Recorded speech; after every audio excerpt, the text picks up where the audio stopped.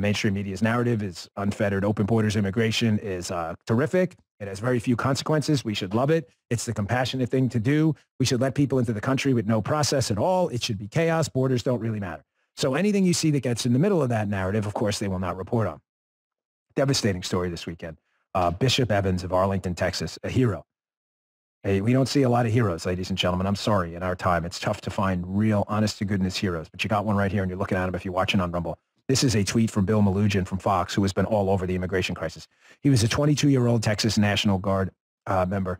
Uh, he's missing since Friday. He's assumed drowned at this point in the Rio Grande and Eagle Pass after he jumped in to save lives, to save lives of people crossing the border and entering the country illegally. The photos are courtesy of his family. And uh, as it turns out, an update on the story we found out, um, it's really hard to talk about. The people he rescued were allegedly smuggling drugs into the country. You're looking at a real hero here, man. I want you to burn that onto your cerebral cortex. Bishop Evans. You know, and I get it. This has a real political tinge to it, the immigration debate. This story doesn't. This is an American citizen, a guy who jumped in and forfeited his own life for the life of another who was breaking the law to get here. You know, you would think a story like this would make people reevaluate their position on this. Unfortunately, it won't. We honor the memory of Bishop Evans.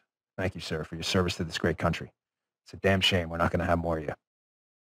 Horrible story, folks.